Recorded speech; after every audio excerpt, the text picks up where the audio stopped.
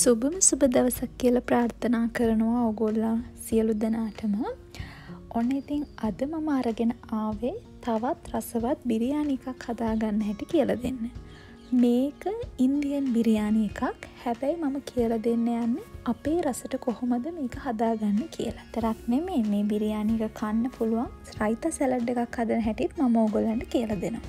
මේ තියෙන අවශ්‍ය කරන ද්‍රව්‍ය අපිට පළමුම අවශ්‍ය කරනවා කුකුල් මස් ග්‍රෑම් දෙසිය පණහක වගේ ප්‍රමාණයක්.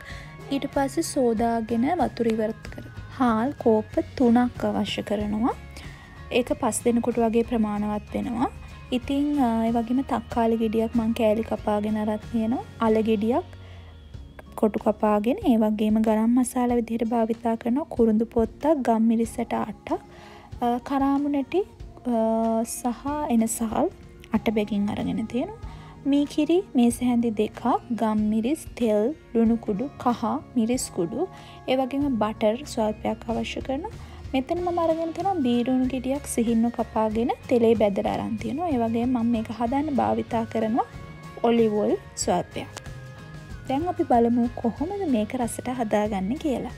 දැන් අපි පළමුුවෙන්ම කරන්න ඕන මේ චිකන් ටික මැරිනේට් කරගන්න එක. ඒකට මම මේ ගත්ත චිකන් දෙසේ පණහ මේ වගේ බෝල් එකට දාලා අපිට එකතු කරගන්න පුළුවන් පළමුුවම මී කිරි. මේ කිරි මේස හැඳි දෙක මම එකතු කරගන්නවා. ඊළඟට අපිට අවශ්‍ය කරන අමුද්‍රව්‍ය තමයි තලාගත් ඉංගුරු සුදුලූුණු මට එක අතැන්දිය කොලට කියන්න බැරි වුණා.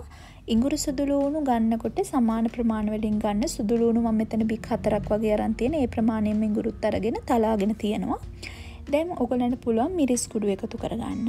ඒත් එක්කම ඔගොලන්ට පුළුවන් කහකුඩු සල්පයකුත් ලුණු රසානුව එකතු කරගන්න.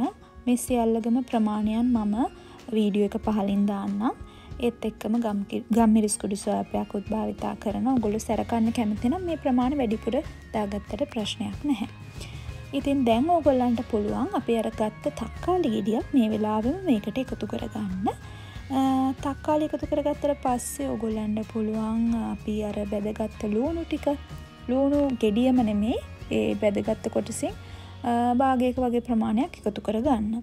ඒත් එක්කම කියන්න ඕන වැදගත් මෙත්තේ තමයි මේක අනා ගන්නකොට හොඳට ඔගොල්ලන් අත පිරිසුදු කරලා අතින් මනාගන්න ටැර අපි දාපු අමද්‍රව්‍යටික හොඳට මේ චිකන් වල ටැප්සෝප් වෙලා හරිම හොඳ රසයක් වෙනවා අපේ බත් එක හදාගත්තාම.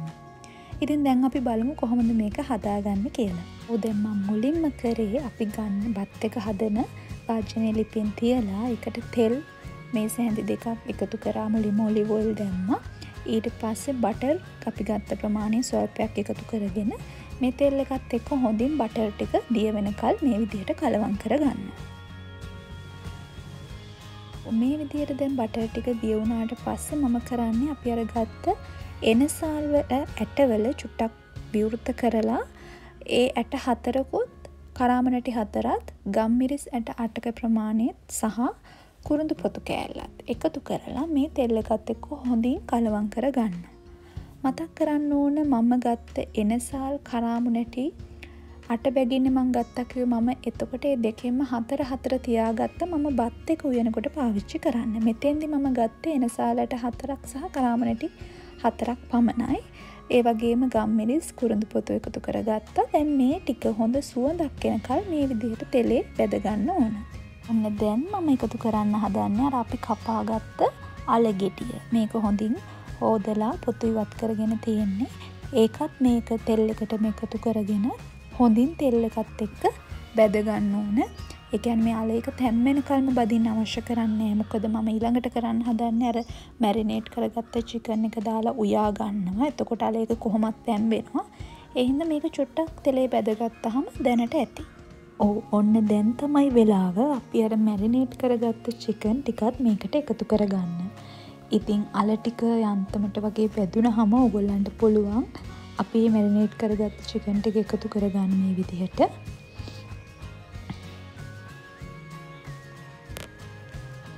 ඊට පස්සේ මේ අල ටිකත් එක්ක මේ චිකන් ටික හොඳින් තෙල් එකේ කලවං කරගන්න ඕන ඉතිං කියන්න ඕන මේ වගේ චිකන් බිරියානි එකක් හදාගත්තහම මේකත් එක්ක ඕගොල්ලන්ට පිළිගන්නන්න පුළුවන් එක් කුරුම එකක් ඒ වගේම කිව්කම්බ රයිතා එකක් ඒ වගේ දේවල් එක්ක තමයි මේ වගේ චිකන් බිරියානි එකක් පිළිගන්වන්නේ. ඔව් මේ වගේ මද ගින්නේ මේ චිකන් එකයි අල එකයි විනාඩියක් දෙකක් ඉදෙන්න අරින්න. දැන් මම කරන්නේ අපි අර චිකන් මැරිනේට් කරගත්ත භාජනයටම තව වතුර ටිකක් දාලා මේකට එකතු කරගන්නවා. ඊට පස්සේ මේ විදිහට වහලා විනාඩි 3ක් විතර ඉදෙන්න දෙන්න. ඒක ඒ විදිහට හැදෙනකොට දැන් මම කරන්න හදන්නේ බත් එක හදාගන්න එක. බත් එක හදන්න වෙනම භාජනයක් අරගෙන ඒකට තෙල් ස්වල්පයක් එකතු කරලා මම තව බටර් ටිකකුත් දානවා. මේක එතකොට තවත් රස වෙනවනේ. මේ විදිහට බටර් ටිකක් දියුණාට පස්සේ ඕගොල්ලන්ට පුළුවන් අර ඉතුරු කරදබුඟු කරාඹු නැටි කුරුඳු පොතු ඒ ටිකත් මේකට එකතු කරලා ටිකක් සුවඳ එනකල් තෙල් එකේ චුට්ටක් බැදගන්නවා. දැන් ඕගොල්ලන්ට පුළුවන් අර අපි සෝදගත්ත හාල් ටික මේකට එකතු කරගන්න මතක් කරන්න ඕන දෙයක් මම මෙතන හෝදගත්ත හාල් අරගෙන තියෙන්නේ විනාඩි පහළවක් විස්සක් විතර පෙඟෙන්න තියලා. ඊට පස්සේ මේ හාල් ටික අර මිශ්‍රණෙත් එක්ක කලවම් කරගෙන කරඳ මුංගු කුළු බඩුත් එක්ක කලවම් කරගෙන ඔයගලන්ට පුළුවන් මේ හාල් එක වැහෙන ප්‍රමාණයට වතුර එකතු කරලා වතුර ටික හිඳෙනකල් බත් එක උයාගන්න. හැබැයි බත් එක ගොඩක් ඉදෙන්න ඕනේ හාල් එකේ කැඩෙන ප්‍රමාණයට වගේ උයාගත්තාම ඇති. ඕ දැන් මගේ චිකන් කරි එකත් හොඳට ඉදිලා තියෙන්නේ අල ටික තැම්බිලා.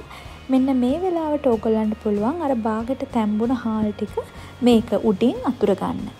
මතක තියාගන්න ඕන වැදගත්ම දේ තමයි මේ බත් එක මේ මිශ්‍රණෙත් එක්ක කලවම් කරන්නේ නැහැ. උඩින් අතුර ගන්නවා විතරයි. ඒක තමා බිරියානි එකක් උයනකොට දැනගන්න ඕන වැදගත්ම දේ.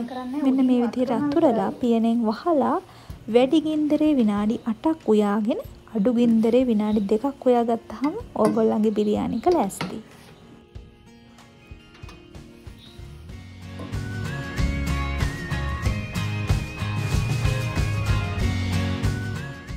ඉතින් මෙන්න මේ විදිහට තමා අපි ඒ හදාගත්ත චිකන් බිරියානි එක අවසානයේ දකින්න පුළුවන් වෙන්නේ. මං ඉතින් මේක සරස ගන්න අර අපි ඉතුරු කරගත්ත ලූණු ටිකකුත් දාලා තියෙනවා.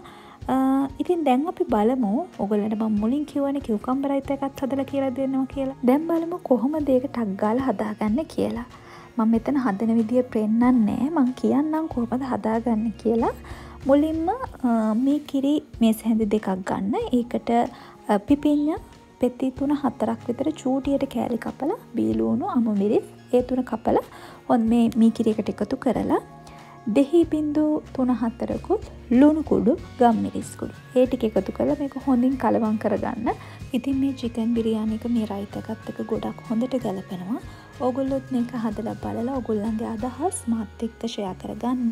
ඉතින් ඔයාලා මගේ වීඩියෝස් වලට කැමති නම් මගේ channel එකත් subscribe කරන්න අමතක කරන්න එපා. බොහොම ස්තුතියි.